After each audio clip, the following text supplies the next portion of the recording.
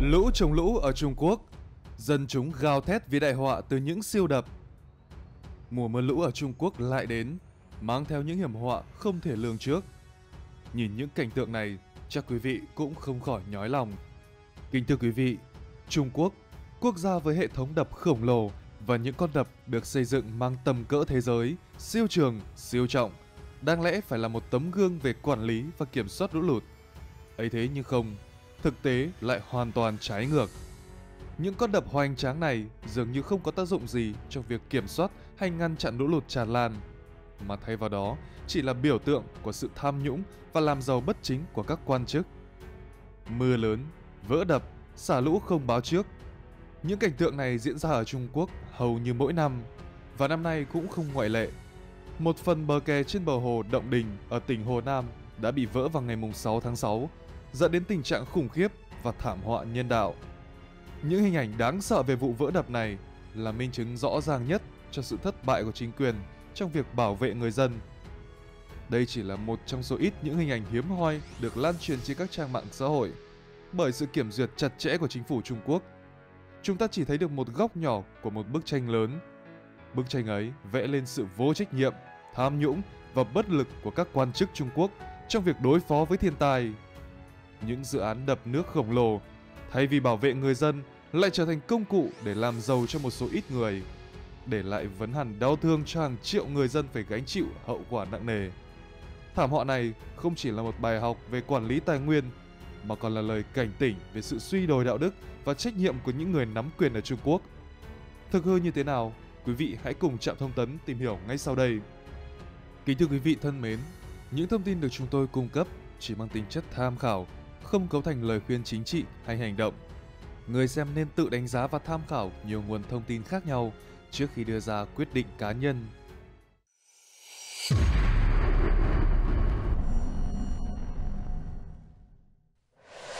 Vỡ đê động đình Hồ Nam Thiên tai không ngừng ghé thăm Trung Quốc Câu chuyện về trận lụt kinh hoàng ở huyện Bình Giang, tỉnh Hồ Nam và Trịnh Châu tỉnh Hà Nam đã trở thành một trong những chủ đề nóng nhất trên các phương tiện truyền thông Trung Quốc hiện nay.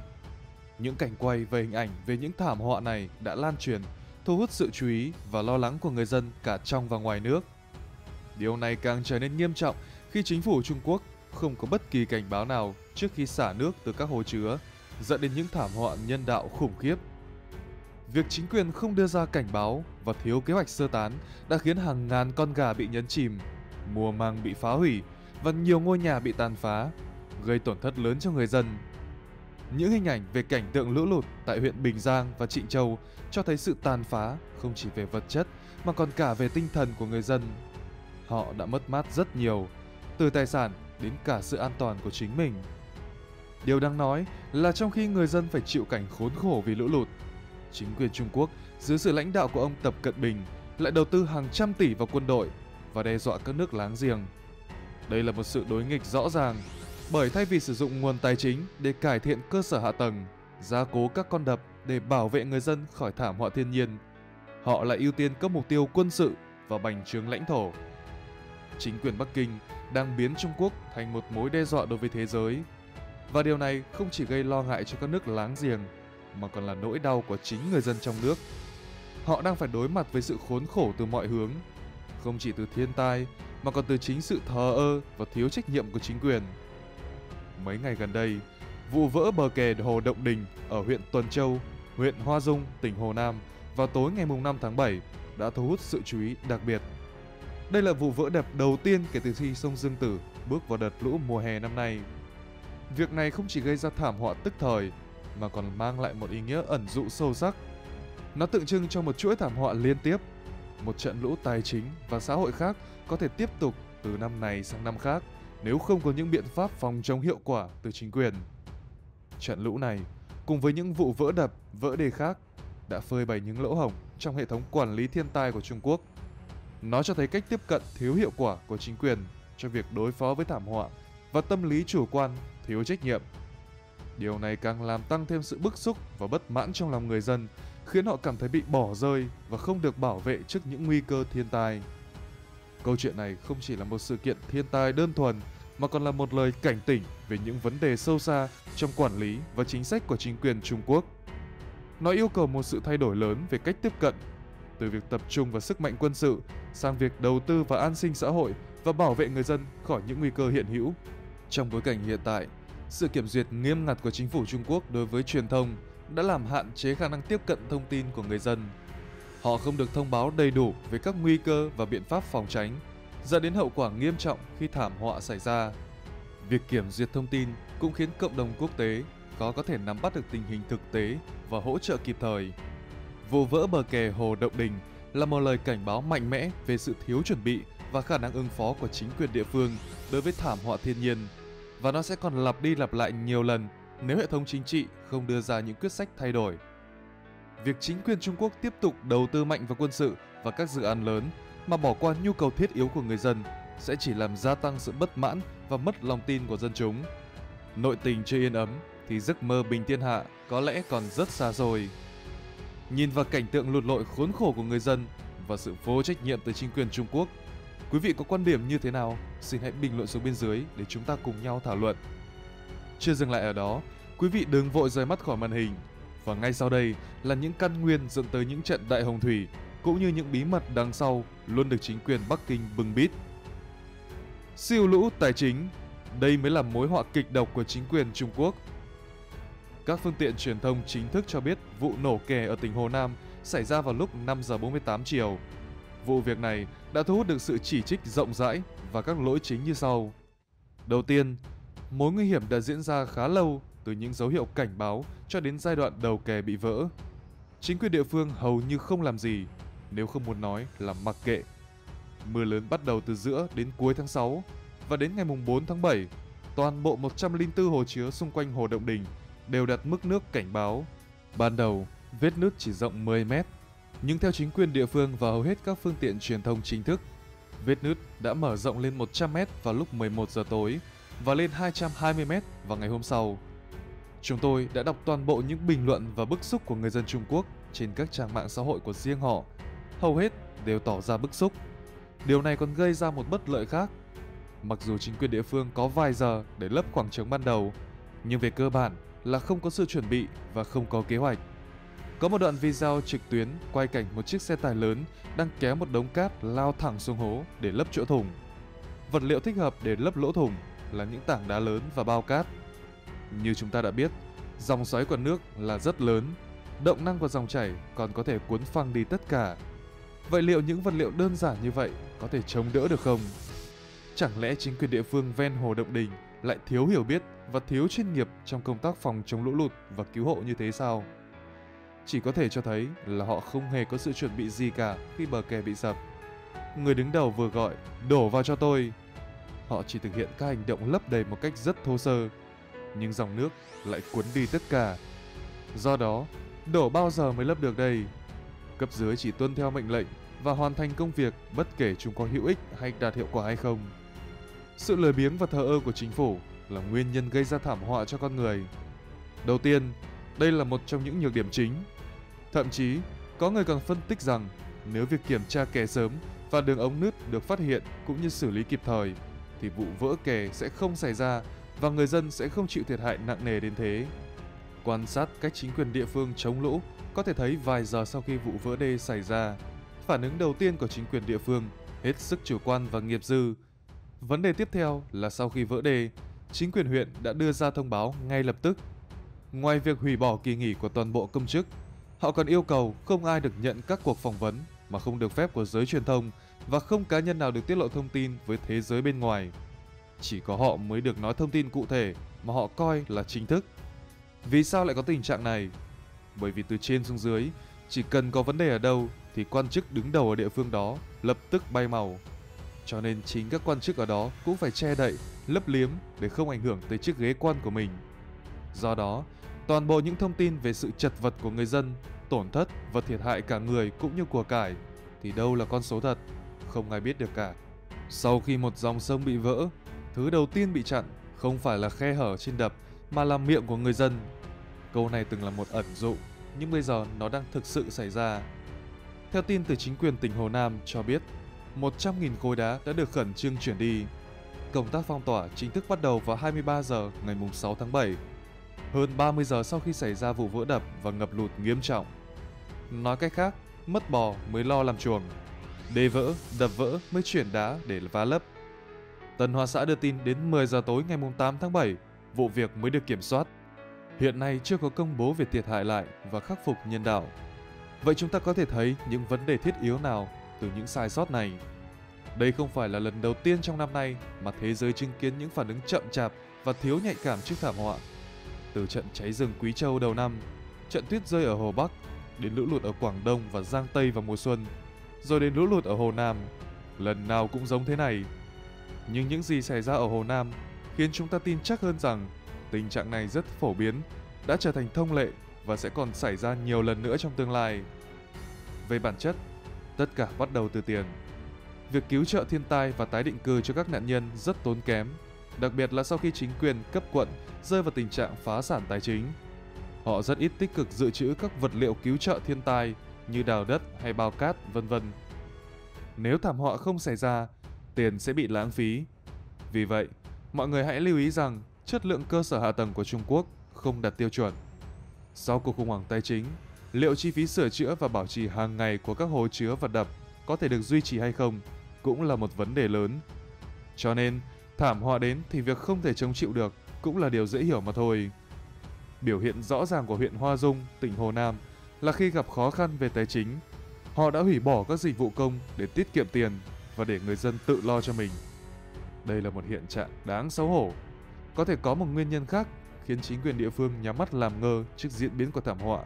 Đó là sự mất mát nghiêm trọng lực lượng lao động trong quận. Ngoài đội ngũ nhân viên của các cơ quan tổ chức chính quyền, chính quyền không thể tổ chức đủ nhân lực để hỗ trợ canh giữ đập và lấp bao cát để ứng phó với thiên tai. Tất nhiên, những người trong các cơ quan và tổ chức chính phủ đều là những người vượt trội hơn những người khác. Họ là lãnh đạo, cho nên không thể là lực lượng tiên phong ra chống lại thiên tai cả. Nơi cư trú của họ không nằm trong vùng trũng xả lũ, chỉ có người dân thường mới sinh sống ở đó. Giờ bảo họ xả thân cứu dân ư? Chắc chắn là không. Nhưng mình không làm thì có thể thuê người làm. Đúng vậy, nhưng tiền không có thì thuê ai bây giờ? Cho nên đây vẫn là do tiền gây ra. Là vì thế, không sai khi chúng ta gọi đó là cơn lũ tài chính. Một vấn đề nổi cộm nhất là thảm họa gây thiệt hại cho dân, nhưng nó lại có thể mang lại lợi ích cho chính quyền địa phương. Giống như việc đốt một kho thóc có thể đốt cháy số tiền thâm hụt thực tế. Số thóc bán được từ kho thóc được báo cáo là tổn thất do thiên tai và được xóa sổ. Sự xuất hiện của lũ lụt cho phép chính quyền cấp quận và thành phố nộp đơn xin hỗ trợ cứu trợ thiên tai từ nguồn tài chính cấp cao hơn. Họ cũng có thể nhân cơ hội nộp đơn xin hạ cấp các mục tiêu đánh giá tài chính ra thảm họa. Có một chi tiết cực kỳ quan trọng là thảm họa Hồ Động Đình, đặc biệt đáng báo động vì bản thân hồ này là một hồ chứa lớn của sông Dương Tử. Kết quả là mưa lớn đến nỗi ngay cả hồ Động Đình cũng không thể kiềm chế được, làm ngập lụt các quận và thành phố xung quanh. Nếu lượng mưa như vậy xảy ra ở những nơi khác trên dòng chính và phụ lưu của sông Dương Tử, thiệt hại sẽ còn đáng kinh ngạc hơn và hậu quả sẽ thảm khốc hơn. Chính quyền Bắc Kinh đã bộc lộ sự kém cỏi và y ạch của mình.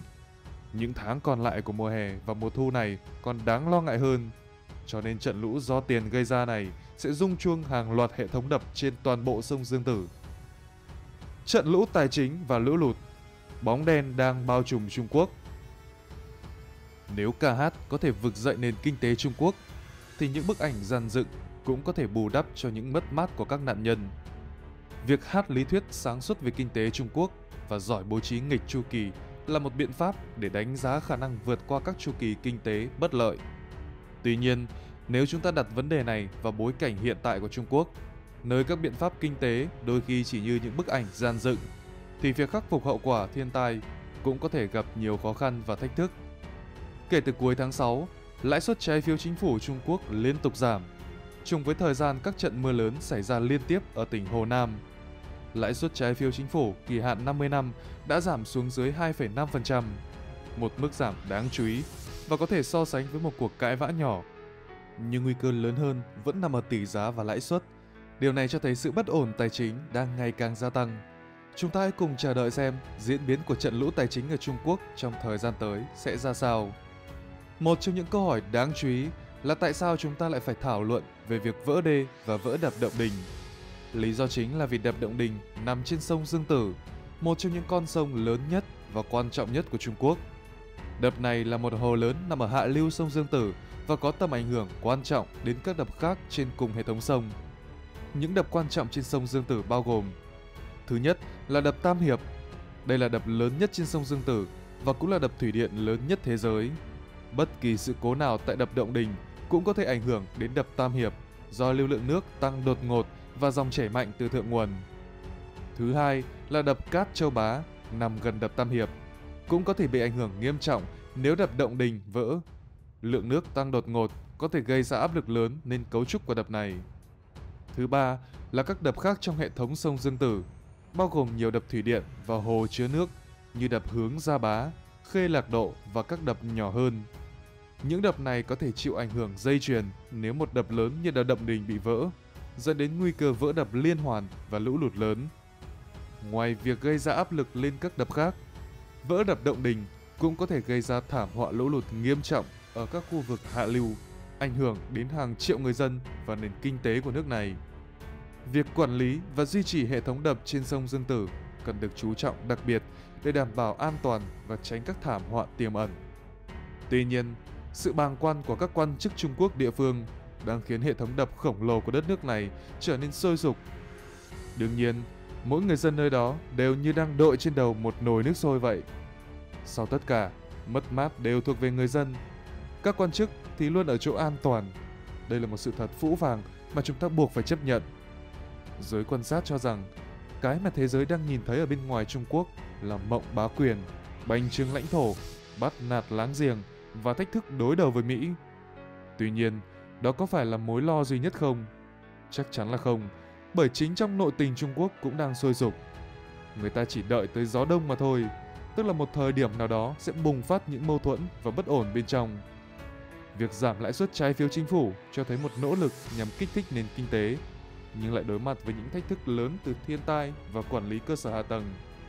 Trung Quốc đang phải đối mặt với một tình hình kép vừa phải duy trì sự ổn định tài chính trong bối cảnh kinh tế toàn cầu bất ổn, vừa phải giải quyết các vấn đề nội tại như lũ lụt và các rủi ro liên quan đến cơ sở hạ tầng đập.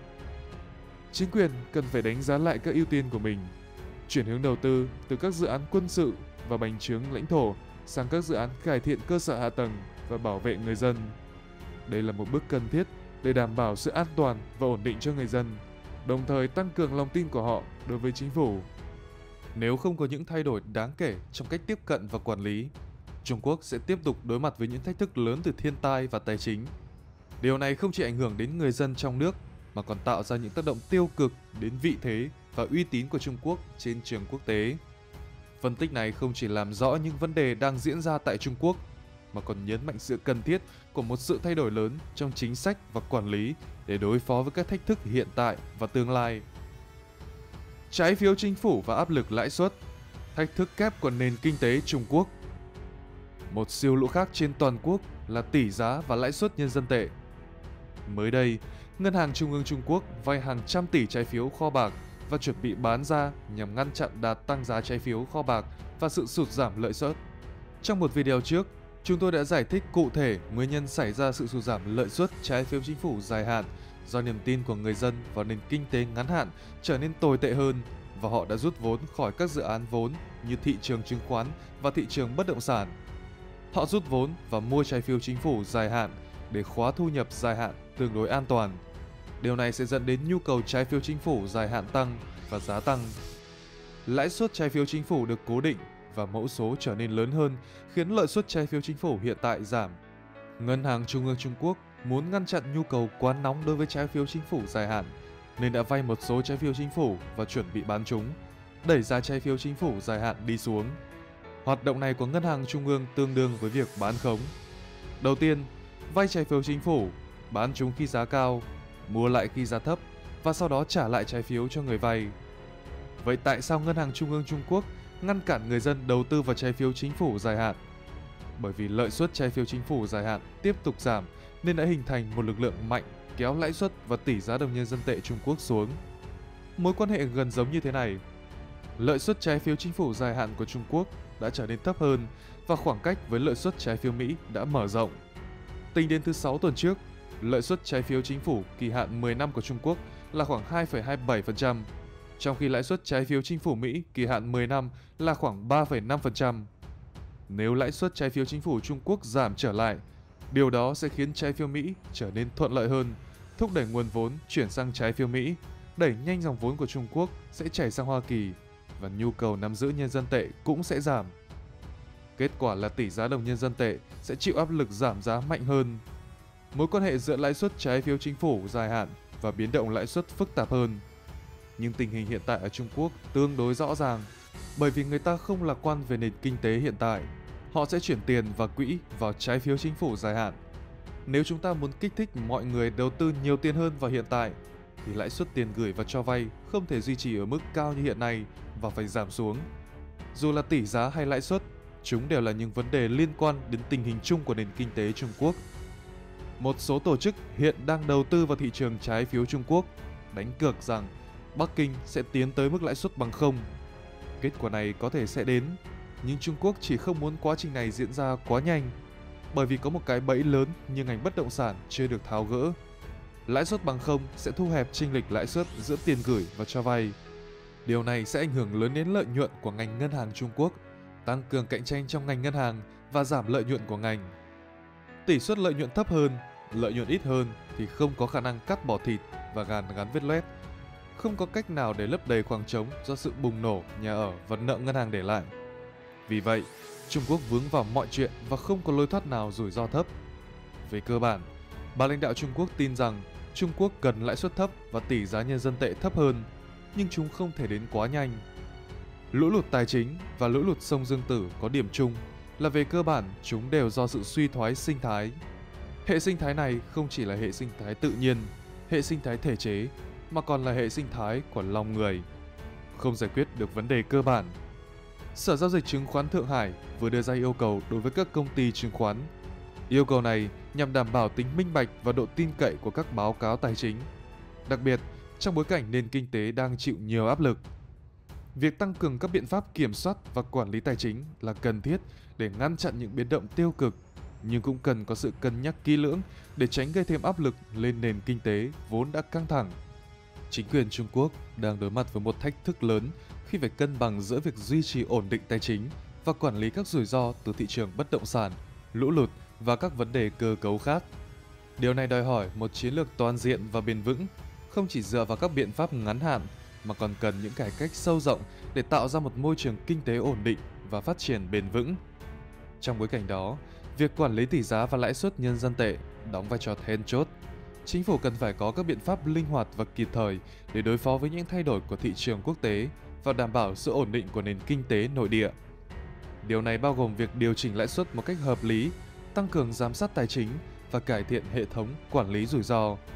Những biện pháp này không chỉ giúp ổn định tình hình tài chính mà còn tạo điều kiện thuận lợi cho sự phát triển kinh tế trong dài hạn. Tuy nhiên, để đạt được điều này, cần có sự đồng thuận và hợp tác chặt chẽ giữa các cơ quan chính phủ, doanh nghiệp và cộng đồng quốc tế. Sự phối hợp này sẽ giúp giảm thiểu các rủi ro và tận dụng tối đa các cơ hội phát triển, đảm bảo rằng nền kinh tế Trung Quốc có thể vượt qua những thách thức hiện tại và tiếp tục phát triển mạnh mẽ trong tương lai.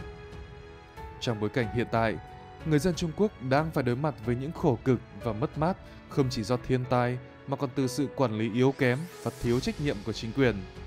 Những trận lũ lụt kinh hoàng, sự suy thoái của hệ thống đập và những biến động tài chính đã phơi bày rõ ràng những lỗ hổng trong công tác phòng chống và ứng phó thiên tai của chính phủ. Trong khi đó, các quan chức lại tỏ ra bàng quan và thiếu đi sự chuẩn bị cần thiết để bảo vệ người dân và tài sản của họ.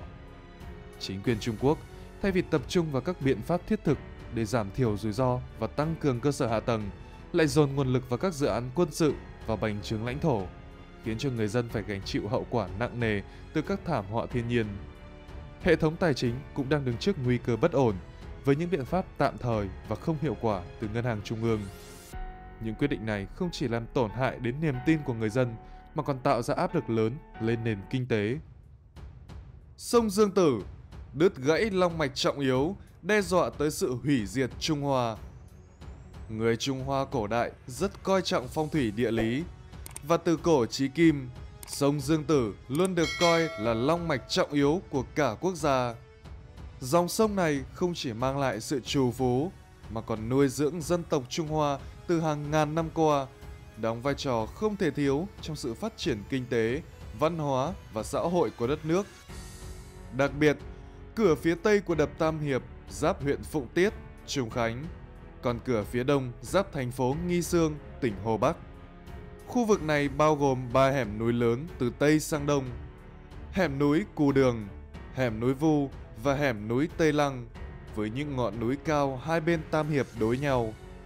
Vách đá dốc đứng và đỉnh núi thường cao từ hơn 1.000 đến 1.500 mét so với mặt nước sông. Điểm thấp nhất là dưới 100 mét. Các chuyên gia phong thủy hàng đầu Trung Quốc đều tin rằng việc xây dựng đập Tam Hiệp đã cắt đứt long mạch của cả dân tộc Trung Hoa. Không chỉ vậy, một số lượng lớn các trạm thủy điện điều tiết khác đã chặn đứng nguồn nước thượng nguồn và cắt mạch lưu thông giữa sông Dương Tử và sông Hoàng Hà, khiến dân tộc Trung Hoa phải đối mặt với nguy cơ sinh tồn và nguy vong chưa từng thấy. Theo lý thuyết về phong thủy, địa hình Trung Quốc cao ở phía Tây Bắc và thấp ở phía Đông Nam, nên gọi là Thiên Khuynh Tây Bắc, địa hãm Đông Nam. Nếu như tra cứu tiên thiên bát quái, thì Tây Bắc thuộc quẻ cấn, là nơi có núi Côn Lôn thuộc về Tổ Sơn, Xét trên phương diện phong thủy truyền thống Trung Hoa thì thiên, địa, thần nhân khí, khí dưới mặt đất ngưng kết thành long mạch. Từ đó hình thành nên sơn mạch và thủy mạch. Do đó, từ núi Côn Lôn, Trung Quốc có 3 sơn long và 2 thủy long. Nếu long mạch thông thì vận nước hưng thịnh. Nếu long mạch không thông thì vận nước sẽ bị ảnh hưởng nghiêm trọng, thậm chí là đe dọa tới sự tồn vong. Thuở xưa, khi dân tộc Trung Hoa truyền thống còn coi trọng phong thủy, Đại Vận Hà đã được họ khai thông. Hai con thủy long Bắc Nam đã được thông nhau, thúc đẩy sự thịnh vượng và phát triển của nền kinh tế Trung Hoa đương thời và hàng trăm năm về sau. Lại nói cũng khi xưa, Đại Vân Hà thuận chiều mà chảy, nay lại bị đập Tam Hiệp chặn đứng, cho nên mới nói công trình Tam Hiệp là trái với lẽ tự nhiên theo quan điểm của học thuyết địa chất của kỳ môn phong thủy, phía nam sông Dương Tử thuộc về cảnh môn, nằm trong giải đất vàng là vùng địa linh dành cho sự phát triển kinh tế của Trung Quốc. Do đó, long mạch sông Dương Tử quan trọng hơn cả sông Hoàng Hà và cần được bảo vệ. Đến nay, sông Dương Tử đã bị chặn ngang lưng giống như một sinh mệnh bị cắt ngang cột sống. Phong thủy bị phá hoàn toàn. Điều này không chỉ ảnh hưởng đến khí hậu tự nhiên và thiên văn, mà nó còn ảnh hưởng đến sự phát triển kinh tế của người dân. Giới chuyên gia phong thủy địa lý, am tường văn hóa truyền thống tin rằng sông Dương Tử là long mạch lớn nhất của Trung Quốc. Nó mang lại sự trù phú và nuôi dưỡng dân tộc Trung Hoa. Giờ đây, có những người cũng được gọi là học giả, chuyên gia, thậm chí là bậc thầy phong thủy hiện đại. Nhưng thực chất, họ không hiểu biết gì về phong thủy địa lý đã động chạm và phá hủy long mạch lớn nhất của Trung Quốc và đồng thời cũng phá hủy phong thủy của cả Trung Quốc. Như trên đã nói, đập Tam Hiệp chặn ngang dòng chảy của sông Dương Tử, giống như cơ thể một người bị cắt đứt ngang lưng hoặc một con rồng thiêng bị bức tường khổng lồ đè qua cơ thể và không thể cử động được. Lúc đầu, sông núi còn hòa hợp, nay cân bằng âm dương đó đã bị hỏng mất rồi. Người xưa nói, thiên nhiên là bất khả chinh phục, con người chỉ có thể thuận theo, thích nghi và tận dụng. Phong thủy và long mạch quốc gia lại càng không thể bị xáo trộn một cách tùy tiện. Nếu không, nó sẽ gây ra thảm họa cho quốc gia và thậm chí ảnh hưởng đến cả an ninh nhân loại. Nhìn từ đạo lý trên, có lẽ nhiều người đã không khỏi thở dài âu lo và quan ngại trước công trình thủy điện được tung hô là lớn nhất thế giới này. Quả đúng là hô hào tàn phá núi sông, đấu trời, đấu đất, đấu dân, đấu người. Thiên tai dịch bệnh khắp nơi, vẫn chưa tỉnh ngộ trông vời căn nguyên.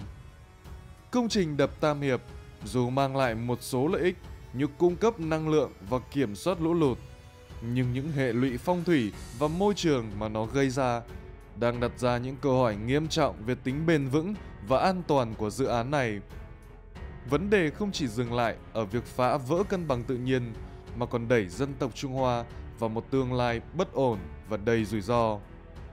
Quý vị có quan điểm như thế nào từ những góc nhìn phong thủy trên? Hãy bình luận xuống bên dưới để chúng ta cùng nhau thảo luận quý vị nhé. Tâm linh, dị tượng xảy ra khi Trung Quốc xây đập Tam Hiệp. Ứng báo điều gì? Khi bắt đầu xây dựng đập Tam Hiệp, đã có nhiều nguồn tin và câu chuyện kỳ bí xoay quanh công trình khổng lồ này. Một trong những câu chuyện đó là về một con rắn lớn được cho là bị chặn nhốt bên trong khu vực xây dựng đập. Thực tế, một số người đã phát hiện thấy con rắn này và các kênh truyền thông cũng đã đưa tin về sự việc này. Theo báo giới địa phương, khi khởi công xây dựng đập, có một con rắn dài hàng mét, thân mang vằn dọc xuất hiện tại đập, gây hoảng loạn cho người dân. Một người đàn ông đã mạnh dạn dùng thanh gỗ khiêu khích con rắn, nhưng nó không tấn công người. Điều này càng làm cho sự kiện thêm phần kỳ bí và đáng sợ. Không chỉ dừng lại ở đó, dư luận còn lan truyền một câu chuyện khác liên quan đến một quản đốc nhà thầu trong quá trình xây dựng đập Tam Hiệp. Theo đó, người quản đốc này đã có một giấc mơ kỳ lạ. Trong giấc mơ, anh ta thấy mình bị đưa tới cung phủ của Diêm Vương. Phán quan tại đó nói với anh ta rằng nếu anh ta dám xả nước thì sẽ giảm hết dương thọ của anh ấy. Quản đốc sợ hãi, vội vàng báo cáo lên lãnh đạo. Nhưng lãnh đạo của anh ta không tin và cho rằng đó chỉ là một giấc mơ vô căn cứ. Sau đó, người lãnh đạo này đã đích thân đi thị sát khu vực xây dựng. Tối hôm đó, chính ông ta cũng mơ thấy mình bị Diêm Vương mời xuống âm phủ. Phán quan dưới âm phủ nói với ông rằng nếu không thể tránh khỏi việc xây đập thì ít nhất nên di rời tượng phán quan và tượng Diêm Vương đến một nơi khác. Nếu không sẽ có báo ứng. Người lãnh đạo này đồng ý và đàm phán quan liền chấm một điểm trên trán ông ta như một dấu chứng. Tuy nhiên sau khi tỉnh dậy, ông ta chỉ nghĩ đó là một giấc mơ và không lưu tâm đến nữa. Công trình vẫn tiếp tục được tiến hành xây dựng mà không có bất kỳ sự thay đổi nào theo lời cảnh báo trong giấc mơ. Sau này, cả người quản đốc và vị lãnh đạo kia đều bất ngờ tử vong một cách bí ẩn. Cái chết của họ đã khiến cho dân làng càng thêm lo lắng và sợ hãi. Người dân tương truyền rằng sau khi hai người này qua đời, vào buổi tối, thỉnh thoảng họ nghe thấy âm thanh của tiếng xiềng xích va vào nhau. Thậm chí, có người còn nhìn thấy một hàng bóng đen đi lặng lẽ trong đêm, tạo nên một không khí rùng rợn và đầy bí ẩn. Những câu chuyện linh dị như vậy đã góp phần tạo nên bức tranh kỳ bí và đáng sợ xung quanh công trình đập Tam Hiệp Công trình khổng lồ này không chỉ gây tranh cãi về mặt kỹ thuật, môi trường và phong thủy, mà còn bị bao phủ bởi những câu chuyện huyền bí khiến nhiều người dân Trung Quốc hoang mang và lo sợ. Những rắc rối, hung hiểm từ khi siêu công trình khởi công Trước khi đập Tam Hiệp chính thức ra mắt, nhiều chuyên gia của Trung Quốc đã bày tỏ sự phản đối mạnh mẽ đối với dự án này. Trong số đó, nổi bật là chuyên gia thủy lợi nổi tiếng Trung Quốc ông Hoàng Vạn Lý đã viết tâm thư gửi đến lãnh đạo cao nhất của Đảng Cộng sản Trung Quốc vào thời điểm đó là Giang Trạch Dân, cùng với các quan chức cấp cao khác để chứng minh rằng dự án Tam Hiệp không thể tiến hành dựa trên các khía cạnh địa chất, môi trường sinh thái, quân sự và phong thủy. Ông Hoàng Vạn Lý đã nêu rõ rằng tất cả các yếu tố này đều bất ổn và không phù hợp để xây dựng một công trình quy mô lớn như vậy. Tuy nhiên, sự can gián của các chuyên gia dũng cảm này đã bị giới chức đương quyền gạt bỏ và đàn áp. Dự án đập thủy điện Tam Hiệp cuối cùng vẫn bị ép khởi động. Giang Trạch Dân, người đã đàn áp đẫm máu các sinh viên tại quảng trường Thiên An Môn ngày 4 tháng 6 năm 1989 và trực tiếp ra lệnh đàn áp phi pháp số đông người tu luyện Pháp Luân Đại Pháp theo nguyên lý chân thiện nhẫn vào năm 1999 khi lên nắm quyền lãnh đạo tối cao trong Đảng Cộng sản Trung Quốc. Khi ấy, Giang Trạch Dân đã nóng lòng thành lập liên minh với Thủ tướng Lý Bằng để củng cố vị trí của mình, thúc đẩy dự án Tam Hiệp được thông qua tại Đại hội đại biểu nhân dân. Điều này cho thấy rằng việc xây dựng đập Tam Hiệp không chỉ đơn thuần là một quyết định kỹ thuật mà còn mang tính chính trị cao. Kể từ khi bắt đầu xây dựng, dự án Tam Hiệp đã gặp phải hàng loạt vấn đề về chất lượng công trình. Trước khi hồ chứa Tam Điệp được xây dựng vào năm 2003, đã phát hiện trên bề mặt đập Tam Hiệp hơn 80 vết nứt. Điều này cho thấy sự thiếu sót trong khâu thiết kế và thi công của dự án. Từ năm 2008 tới năm 2012, tổng cộng có 401 nguy cơ địa chất mới được ghi nhận trong khu vực hồ chứa Tam Hiệp. Những nguy cơ này không chỉ đe dọa đến sự an toàn của công trình mà còn gây ra những lo ngại về tiềm năng thảm họa đối với người dân sống trong khu vực. Sự cố khí hậu bất thường đã xảy ra liên tục kể từ khi công trình đập Tam Hiệp được cố tình xây dựng ở khu vực giữa và hạ lưu sông Dương Tử. Những thảm họa như động đất, lũ lụt, nhiệt độ cao và hạn hán đã diễn ra từ năm này qua năm khác, gây ra những hậu quả nghiêm trọng trong môi trường và đời sống của người dân. Hồ Bà Dương, một trong những hồ lớn nhất Trung Quốc, gần như cạn kiệt, gây ra tình trạng thiếu nước nghiêm trọng và ảnh hưởng đến hệ sinh thái khu vực. Hàng triệu người dân sống trong lưu vực thuộc hồ chứa Tam Hiệp đã trở thành nhóm ba thấp, tức là thu nhập thấp hơn mức trước khi di rời, thấp hơn mức độ của nông dân địa phương trong khu tái định cư và mức sống của các gia đình này thấp hơn mức nghèo của cư dân địa phương. Điều này đồng nghĩa với việc họ phải đối mặt với cuộc sống đầy khó khăn, không có quê hương, không có công việc và không có lối thoát. Tình trạng này đã dẫn đến hàng loạt đơn khiếu kiện của dân chúng. Mỗi năm, số đơn khiếu kiện đệ lên các cấp là hơn 80.000 vụ và con số này không có dấu hiệu giảm. Những rắc rối và hung hiểm liên quan đến đập Tam Hiệp đã tạo ra một bức tranh u ám về một công trình được kỳ vọng sẽ mang lại nhiều lợi ích nhưng lại gây ra biết bao vấn đề nghiêm trọng từ các vấn đề kỹ thuật, địa chất đến môi trường và đời sống xã hội. Đập Tam Hiệp đã trở thành một ví dụ điển hình về việc một dự án quy mô lớn có thể gặp phải những thất bại lớn như thế nào khi không được chuẩn bị kỹ và thực hiện cẩn trọng. Đập Tam Hiệp gây ám ảnh cho người dân, công trình vĩ đại hay thảm họa nhân tạo. Sau khi hoàn thành, đập Tam Hiệp đã tạo thành một hồ chứa khổng lồ với chiều dài khoảng 600 km. Điều này rất hiếm khi xảy ra trên thế giới. Hồ chứa này không chỉ mang lại những thay đổi lớn về mặt tự nhiên mà còn gây ra nhiều hệ lụy cho người dân và môi trường xung quanh. Vào ngày 8 tháng 11 năm 1997, mực nước của dòng sông đã tăng cao đột ngột từ 10 lên đến 75 mét. Đây là một sự thay đổi khổng lồ làm biến đổi hoàn toàn cảnh quan và điều kiện sống của khu vực. Tháng 6 năm 2003, sau khi hoàn thành giai đoạn thứ hai của dự án, mực nước đã được nâng lên 135 mét, dẫn đến việc đền Trương Phi trong khu vực danh lam thắng cảnh bị ngập lụt. Đến năm 2006, mực nước tiếp tục dâng cao tới 156 mét, khiến đền Quy Nguyên bị ngập. Đến năm 2009, sau khi đã hoàn thành toàn bộ dự án đập Tam Hiệp, mực nước đã đạt đến 175 mét. Những con số thống kê này không chỉ phản ánh sự thay đổi về mặt vật lý mà còn tạo nên những câu chuyện bi hài, chua chát từ người dân địa phương rằng quả đúng là vận nước càng ngày càng lên cao, hiểu theo đúng nghĩa đen. Năm 2003, cựu Thủ tướng Cộng hòa Nhân dân Trung Hoa, ông Lý Bằng đã xuất bản cuốn nhật ký Tam Hiệp. Trong đó, ông ghi rõ trách nhiệm của Giang Trạch Dân đối với dự án này. Ông Lý Bằng nêu rõ, sau năm 1989, tất cả các quyết định lớn về dự án Tam Hiệp đều do Giang Trạch Dân chủ trì. Điều này cho thấy rõ sự ảnh hưởng và quyền lực của Giang Trạch Dân trong việc thúc đẩy dự án, bất chấp những lo ngại từ các chuyên gia và người dân. Tại lễ kỷ niệm hoàn thành dự án Tam Hiệp năm 2009, không có nhà lãnh đạo Đảng Cộng sản Trung Quốc nào đến chúc mừng. Điều này rất hiếm thấy và gây ra nhiều nghi vấn về sự ủng hộ thực sự của các lãnh đạo đối với dự án. Việc thiếu vắng sự hiện diện của các quan chức cấp cao tại một sự kiện quan trọng như vậy cho thấy có thể có những bất đồng hoặc lo ngại tiềm ẩn liên quan đến đập Tam Hiệp. Ngày 16 tháng 9 năm 2013, Quân ủy Trung ương đã triển khai 4.600 binh sĩ để luôn phiên bảo vệ sự an toàn của đập Tam Hiệp.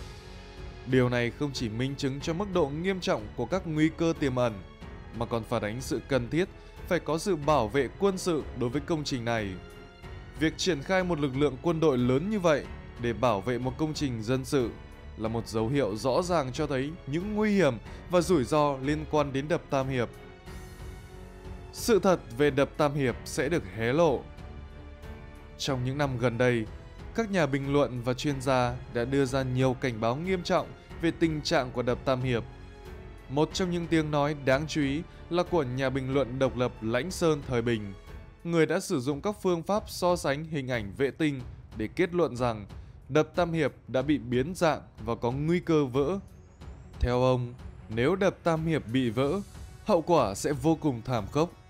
Một nửa Trung Quốc có thể bị hủy diệt, kéo theo nhiều tổn thất nghiêm trọng về con người và tài sản. Đập Tam Hiệp hiện nay đã nằm dưới sự kiểm soát của quân đội. Điều này cho thấy mức độ nghiêm trọng của các nguy cơ tiềm ẩn. Lãnh Sơn Thời Bình gần đây cũng đã phát hành một đoạn video trên Twitter. Trong đó, ông chỉ ra rằng khu vực rộng lớn ở thượng nguồn của đập Tam Hiệp đã bị lở đất.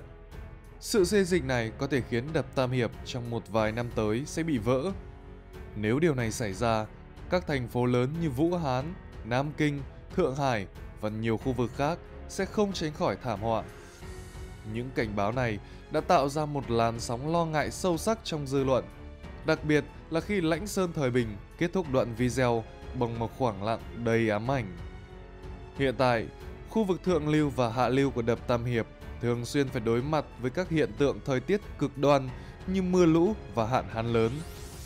Lãnh Sơn Thời Bình đã đăng tải một video khác, trong đó ông tiết lộ rằng đập Tam Hiệp không chỉ bị dịch chuyển theo chiều ngang mà còn theo chiều dọc. Hiện tượng nước bê tông cũng đã được ghi nhận, làm gia tăng lo ngại về độ an toàn của công trình này. Các nguồn tin khác cũng cho biết, thật đáng tiếc khi đập Tam Hiệp hiện tại đã trở thành khu vực kiểm soát quân sự, hạn chế sự tiếp cận và xác minh từ bên ngoài, khiến cho tình hình càng thêm mờ mịt và đầy lo ngại. Lãnh Sơn Thời Bình cho biết, Vũ Hán đã đưa ra cảnh báo đỏ về mưa bão. Trong tương lai, mưa lớn vẫn sẽ tiếp tục xảy ra ở giữa và hạ lưu sông Dương Tử. Đỉnh điểm mưa sẽ ập vào Vũ Hán. Việc xả nước ở vùng hạ lưu của Tam Hiệp đã là một mối lo, nhưng xả nước ở thượng nguồn còn đáng lo ngại hơn nhiều. Nếu việc xả lũ gặp thêm mưa lũ, nguy cơ tạo thành một trận lũ lớn trên toàn lưu vực sông Dương Tử là rất cao. Điều này sẽ đặt Trung Quốc và cả các khu vực lân cận vào một thử thách lớn. Chuyên gia thủy lợi Vương Duy Lạc đã đưa ra những cảnh báo cụ thể hơn. Theo ông, nếu đập Tam Hiệp bị vỡ, 700 người sống ở thành phố Nghi Sương, ngay phía dưới con đập, sẽ khó thoát khỏi thảm họa. Vương Duy Lạc cho rằng đập Tam Hiệp nên được phá rỡ sớm để tránh những hậu quả khôn lường. Phá rỡ nó cũng đơn giản, chỉ cần mở toàn bộ miệng cống để nước tự lưu thông. Tuy nhiên, những người khởi xướng xây dựng và tiếp quản đập Tam Hiệp không muốn làm điều này vì nếu đập bị hủy bỏ, những thành tích trước đó của một nhóm người sẽ bị trôi theo. Để đạt được năng lượng thủy điện tái tạo, hiện nay Trung Quốc đã cho xây dựng khoảng hơn 87.000 con đập với tốc độ và số lượng chưa từng có trong lịch sử nhân loại. Tổng cộng, họ đã tạo ra 352 gigawatt điện. Con số này lớn hơn tổng công suất điện của cả ba nước Brazil, Canada và Hoa Kỳ cộng lại. Điều này cho thấy sự phụ thuộc lớn của Trung Quốc vào các dự án thủy điện, nhưng cũng đồng thời đặt ra những thách thức lớn về an toàn và bền vững. Tóm lại, sự thật về đập Tam Hiệp hôm nay là một bức tranh đầy lo ngại và tiềm ẩn nhiều nguy cơ. Các cảnh báo từ các chuyên gia và nhà bình luận như Lãnh Sơn Thời Bình và Vương Duy Lạc không thể bị bỏ qua. Đập Tam Hiệp, một biểu tượng của sự phát triển và tham vọng, giờ đây lại trở thành mối đe dọa lớn đối với an ninh và sự ổn định của Trung Quốc. Các biện pháp an toàn và kiểm soát chặt chẽ hơn cần được thực hiện để đảm bảo rằng công trình khổng lồ này không trở thành một thảm họa nhân tạo trong tương lai. Đập Tam Hiệp Công trình thủy điện khổng lồ được kỳ vọng mang lại nhiều lợi ích cho Trung Quốc. Giờ đây lại trở thành nguồn cơn của nhiều lo ngại và rắc rối không hồi kết. Sự hình thành của hồ chứa dài 600 km đã dẫn đến những biến đổi khổng lồ về cảnh quan và điều kiện sống, gây ra nhiều thảm họa như lũ lụt, động đất và hạn hán. Các vết nứt trên bề mặt đập, nguy cơ địa chất mới và những hiện tượng khí hậu bất thường đã làm gia tăng thêm sự lo lắng của người dân. Nhìn lại toàn bộ quá trình từ khi bắt đầu xây dựng đến khi hoàn thành, đập Tam Hiệp đã trở thành một ví dụ điển hình về cách mà một dự án quy mô lớn có thể gặp phải những thất bại lớn nếu không được chuẩn bị và thực hiện cẩn thận. Những rắc rối và hung hiểm mà nó mang lại đã tạo ra một bức tranh u ám về tham vọng và hiện thực, đồng thời đặt ra những bài học quan trọng cho các dự án trong tương lai. Video hôm nay xin phép được khép lại tại đây. Xin kính chào tạm biệt và hẹn gặp lại. Kính chào quý vị khán giả. Trạm Thông Tấn là một kênh độc lập, không liên kết với bất kỳ chính phủ, tổ chức chính trị hay đảng phái nào. Các quan điểm và phân tích trên kênh Trạm Thông Tấn thuộc về đội ngũ sản xuất nội dung. Những thông tin được chúng tôi cung cấp chỉ mang tính chất tham khảo, không cấu thành lời khuyên chính trị hay hành động. Người xem nên tự đánh giá và tham khảo nhiều nguồn thông tin khác nhau trước khi đưa ra quyết định cá nhân. Chúng tôi cam kết mang đến cho người xem cái nhìn đa chiều và khách quan về các vấn đề địa chính trị, đồng thời khuyến khích sự đối thoại và tìm kiếm giải pháp hòa bình. Nếu thấy hay, các bạn nhớ ủng hộ kênh bằng cách like, comment và share. Và đừng quên đăng ký kênh để xem những video hấp dẫn tiếp theo nhé. Xin kính chào tạm biệt và hẹn gặp lại.